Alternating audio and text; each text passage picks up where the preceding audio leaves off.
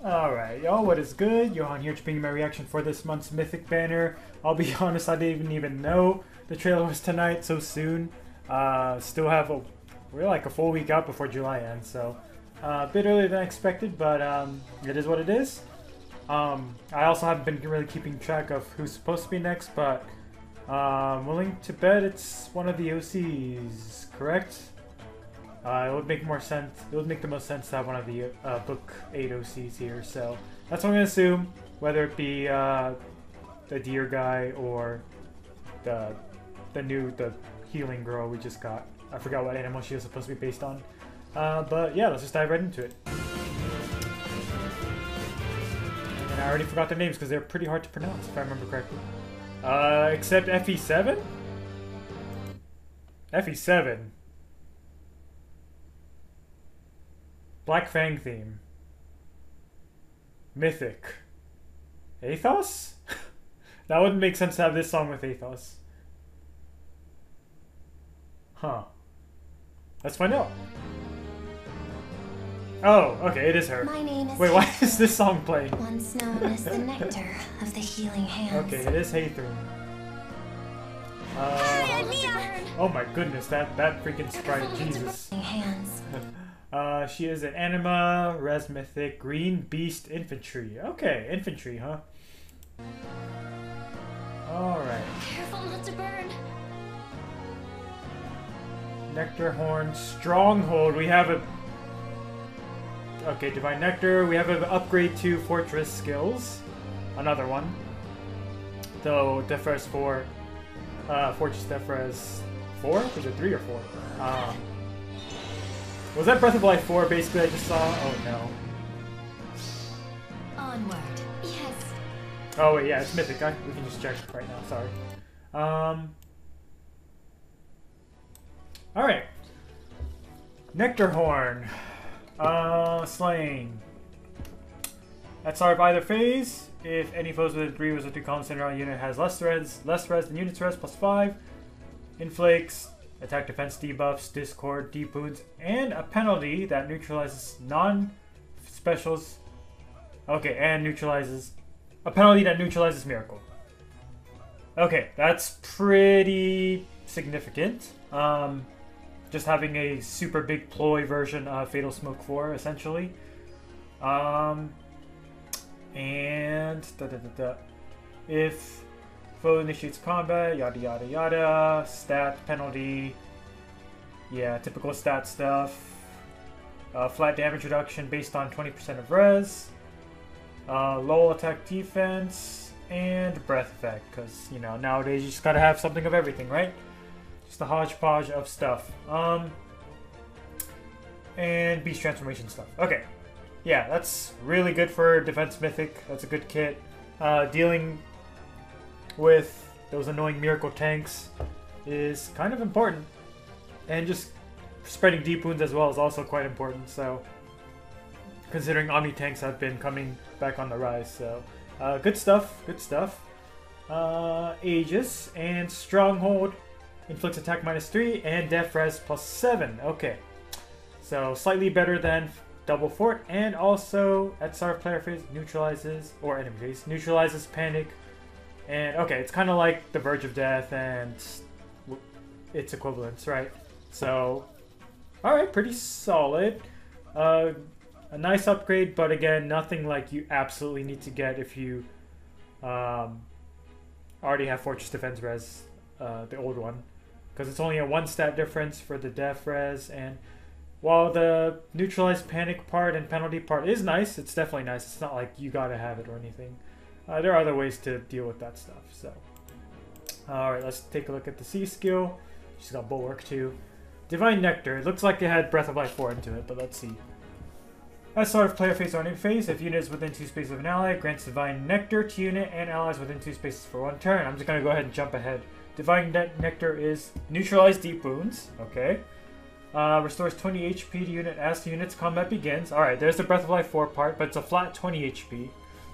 Um, and if it is unit's first combat initiated by foe, or First combat initiated by unit that turn reduces damage, reduces damage from foes attacks by 10 during combat, excluding AoE. So flat 10 damage reduction. That's very, very, very nice. Um, and how big is the? Oh, so for some reason I thought it was Divine Vein, but I saw Divine, but it's actually just the bonus status. Yeah, that's really, really good. That flat damage reduction. And that's going to stack with other flat damage reduction too. So that's pretty insane. That's pretty insane. Unfortunately, can't really use her on offense, um, but still, in other modes, that's going to be fantastic for your Omni tanks. Make Ike even tankier, because why not, right? Uh, if a rally or movement assist skill is used by any ally with the Divine Nectar effect active, grants another action to that ally. what? Ain't no way. That's crazy. That's actually insane. It gives divine. She gives divine nectar to every ally within two spaces, so everyone is just gonna be reacting. And this is on defense. That's a nightmare. You have rally trap into rally trap into rally trap into etc. Right? I'm not. I'm not crazy, right? If a rally or movement skill, movement assist skill is used by an ally with the divine nectar effect active, excluding unit, excluding herself. Okay. Grants another action to that ally once per turn. If another effect that grants action to unit has been activated at the same time, this effect is also considered to have been triggered. Okay, so it doesn't stack with, uh, like, change fate. That makes sense. Or like, you don't get them one after another, like, like you would with like Gale Force and Raging Storm. Instead, it would activate both change fate and divine nectar, so you can't use them back to back. All right, that makes sense. That better have been the case, because honestly, uh, yeah, that's still absolutely game-breakingly insane. That's ridiculous. Uh, on top of that, if unit is within three spaces of an ally, inflicts attack defense minus five on foe and inflicts guard on foe per attack during combat. Uh, yeah, that's just for her own purposes. Um, wow, that's crazy. That ugh, this game is getting so so ridiculous. Like just the the just the just the healing part and the flat damage reduction part, that's perfectly insane as it is. That's incredibly strong. But we gotta add this insane act again part to make what is going on with Fire Emblem Heroes, y'all. This is not okay. Oh man.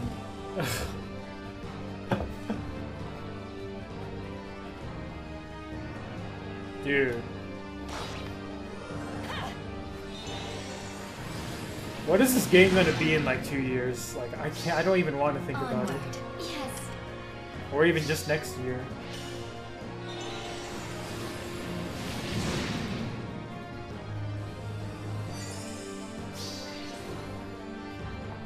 It's crazy.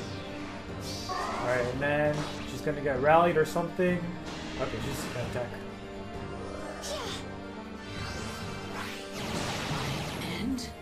Gonna get repositioned here. Okay, they don't show it off. Oh, there's another one. Okay, they're both here. I didn't even realize. body is the first weapon. Okay, I don't. I forget how to pronounce his name. Okay, he's an Astra mythic defense, colorless beast cav. Okay, so he's not an infantry, unlike his sister.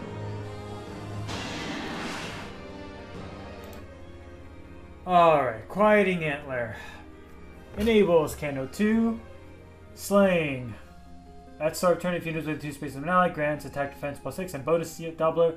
Just give bonus doubler to everyone. Alright, sure, why not? Make it super easy. Because rip Legendary Hollywood, right? um, not necessarily rip Mirabilis, though, because Mirabilis gives it on Dance, which guarantees that the ploy effect will be off on that unit because they have already acted. So, in that sense, Mirabilis is still useful. Um, this sharing was a bonus doubler susceptible to ploy for, so that is something to keep in mind. Uh, if units within two spaces of allies, and if unit allies within two spaces of unit have bonuses to all their stats after start of turn, start of turn skills trigger, Grants an additional plus 3 to each corresponding stat for unit and those allies for one turn. So we are finally breaking. I'm assuming this is not in combat. We're finally breaking the plus 7 buff uh, limits. I don't think we ever saw plus 8, did we? I don't think. For blue buffs. I'm pretty sure we've been at 7 for a while now. Uh, there might be an 8 somewhere. I don't think so, though. Uh, but now we're hitting 10. It's honestly, I'm surprised it took this long to get blue buffs to go this high, but uh, makes sense when they release bonus doubler. But now we have, you know, bonus doubler stonks going crazy. Of course, ploy stonks also going up now because of this. Um, but yeah, just a lot of stats. Just so many stats. Uh, if you initiates combat, yada yada yada, penalty, attack, defense equals yada yada, typical stuff. He gets true damage um, instead of flat damage reduction, unless reduces damage from foes' attacks by 50% of X. What is X? X equals highest total uh, bonuses among unit. Okay, he does have flat damage reduction uh, based on total bonuses with allies around him, uh, and the typical Oh, wait, is this different? No, no, no, no, no, it's not. It's not. Typical Cav uh, transformation thing. So, yeah. It's crazy. It's really strong, but there is counterplay to it, so it's not not it's not crazy so far. We'll have to see what he has after this. Uh, Fierce Beast, new special. Boost damage by X percent of units attack when special triggers. If transformed, X equals 25, otherwise X equals 20. Okay. Uh, if special triggers, DR piercing. Okay, this is definitely inheritable. Finally! And it's only a 2 cooldown special. That's really nice, actually. So we finally have a way to pierce DR um, on beasts. Beasts are finally getting something. Um, yeah, hopefully they get... Well, I mean... They're not going to have special base damage reduction through this, so that's kind of a catch, but this is still great to have. Alright, and what else do we got here? I'm just gonna scroll here. Alright, Attack Defense Excel is here. Nice. Alright, Divine Strength. Removes the condition to transform. After start of turn effects trigger on player phase or any phase, neutralizes any penalty on unit. That's very good. very, very good. Um, inflicts attack defense minus 5 on foe, and unit makes a guaranteed follow-up attack during combat, and heals 7 HP after combat. Sure. Uh, unfortunate for Gale Force, but sure. Um, if units attack at start of combat is greater than foes, greater than or equal to foes attack at start of combat, minus five, inflicts additional attack defense minus six on foe during combat, and if units defense is yada yada same condition, inflicts attack defense minus six on. So just stacking crazy debuffs, right? So you're getting like a 20 stat swing, assuming you know your blue buffs are not mingled with. That's 10, and then additional 10 from the bonus doubler, assuming you're deployed as well. You're getting attack defense minus 12 on the foe, probably. Uh, sorry, 17, I should say. There's the actual. Um, there's the regular. Yeah, attack defense minus 5 there. So that's a 27. No, sorry. That's a 37 attack defense swing. uh, right there. And then you also have to consider the penalty here 37 and then 43 and then additional 20% of units defense at start of combat. so that's like about over 50 attack defense debuff. So this is like Attune Micaiah levels of debuffing attack and defense. This is basically Attune Micaiah levels uh, that she does on attack res. Uh, and then there's attack defense excel on top of all that. Uh, so this guy's gonna be pretty tough to take down. Uh, and Beast Threaten, of course.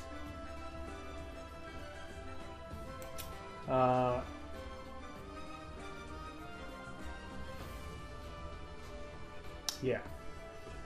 I was just trying to remember what that did real quick. Has some special jumping, so that's really good for him. He just gets his special ready immediately. Um, yeah. He's stat ball of a unit. He is definitely a tank, as his appearance suggests. So we see Freyr having attack 20 minus 26 and defense minus 22. That's a lot on Freyr, considering he gets a lot of attack defense on his own.